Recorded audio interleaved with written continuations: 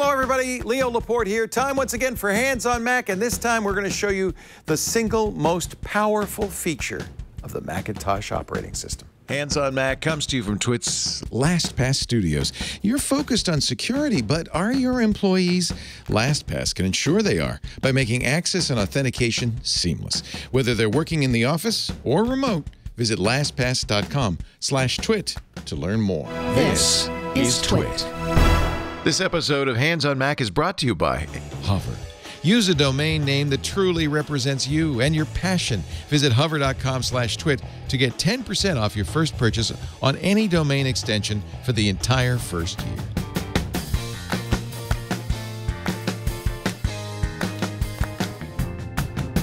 Hands on Mac time. Hello, everybody. I'm Leo Laporte.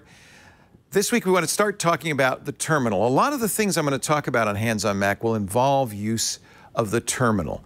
The key thing to understand here is that the Macintosh, while a graphic operating system with menus and windows, is based on Unix and it has an underlying command line. Now, if you're saying, well, so does Windows, I've used the DOS shell. Oh, no, no, no. This is a lot more powerful. The command line on Macintosh can do an awful lot. And if you're a developer, a security expert, if you're just somebody who likes to geek out, getting into the command line and the terminal on Macintosh is a really great idea. Now, I want to show you the terminal that comes with the Macintosh, and then I'm going to tell you why you don't want to use it. So let me, let me launch the Macintosh terminal app. It's an okay app. Uh, it can be configured to be more powerful and more useful. But honestly, I prefer a different app.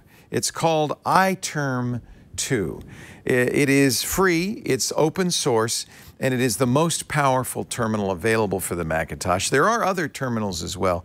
Uh, let me let me launch iTerm, and I'll show you uh, some of the things I do with iTerm 2. And and by the way, you might want to install this to follow along because over time we're going to be doing a lot more uh, with the command line. I think that knowing how to use the command line is a really great way to uh, be able to become a professional uh, Macintosh user and a true geek. So here's the terminal. You'll notice a couple of things. You can't see this on, uh, there you go, you can see it on this screen. Uh, iTerm has a lot of additional features. I've turned on one of them that allows me to see how much battery's left, CPU, how much memory, upload and download, the time and date. I like having that. You don't have to turn that on. I'm also running a program which I downloaded, and I'll show you how to do that next week from Brew. It's called NeoFetch. NeoFetch gives you a little Apple logo. It works on most Unix devices and it gives you the appropriate logo for your operating system and tells you a little bit about the operating system, what version, what hardware, how long it's been up. Uh, 13 days for this MacBook Pro since last reboot. That's actually uh, pretty typical. The processor and memory and, and so forth. That's called NeoFetch. It's a nice little program that many Unix systems have or uh, they have something analogous to it. You'll see the command line here. This is a very sparse command line. It just shows me a tilde, a dollar sign, and then I can start typing. Uh, that's where your work will happen at the command line and you'll be typing out commands. If you've used Windows before, you might say, okay, I know a few of them. How about dir? Well, there is no dir in Linux. Instead, there's a list command, ls, which will give you a listing.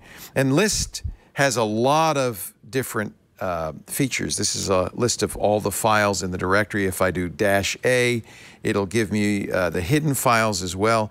If I do ls dash LA, it'll give me a long listing that includes permissions. We'll understand a little bit more about this as time goes by.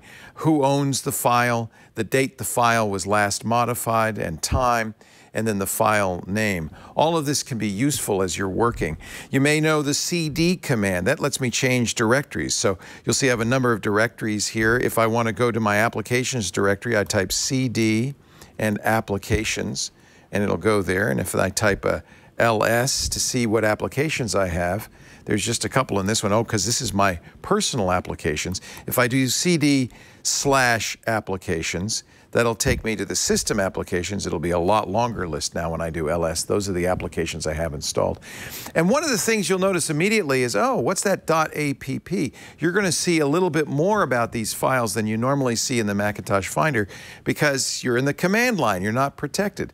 That's an important thing to note. You can also do things like delete files, delete directories, even delete your entire hard drive from the command line. So it's really important before you start going crazy with the command line that you learn a little bit about it. It's a great tool to have. So your assignment this week is to download iTerm and install it, play with it a little bit, ls, cd, you can make a dir with mkdir, uh, you can, uh, you know, start anytime you want to know what a command is, if I'm going to go back to my home directory right now, so I'll type cd, anytime you want to know what a command does, you could type the word man and the name of the command. So if I type man ls, I'll get a manual page with all of the different settings you can do with ls, spacebar pages to the next page, and q quits out of the manual.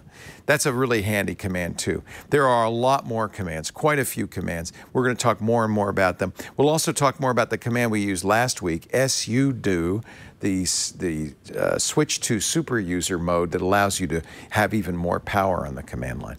In my opinion, the main reason I love the Mac and the main reason a lot of people, including a lot of developers, use Macs is because of the command line. The ability to get below the windows and the menus and start really working at the command line is what makes the Macintosh such an exciting and powerful computer. Ease of use with the GUI, but real power with the command line. So download iTerm. Next week, I'm going to show you how you can start installing applications from the command line, controlling what applications you have, and I'll show you a great command that lets you set up a Mac really quickly. Install all the applications you use like that. We'll see you next Friday on Hands on Macintosh. If you've got a question for me, email leo at twit.tv. Tell me what you'd like to see on another episode. Tell me your favorite command line command, and uh, maybe we'll, we'll show it uh, in uh, the weeks to come. Thanks, everybody. See you next time. Hands on Mac brought to you this week by Hover. I love Hover for registering domains.